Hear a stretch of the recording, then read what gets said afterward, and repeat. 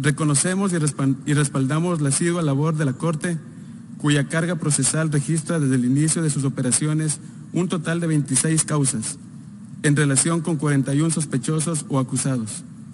Asimismo, nuestro total apoyo a la fiscal de la Corte, quien con su trabajo ha contribuido con los recientes logros históricos de la Corte para que en este periodo dicte nuevas órdenes de detención contra dos personas y continúe con tres juicios. Respaldamos a que la fiscal siga adelante con las investigaciones abiertas en 11 situaciones y continúe con su disposición de iniciar investigaciones y exámenes preliminares en todas las partes del mundo, donde sea necesario, marcando un hito que debilita las críticas erróneas sobre selectividad y parcialidad de sus investigaciones. Lamentamos la salida, así como la notificación de retiro de varios estados.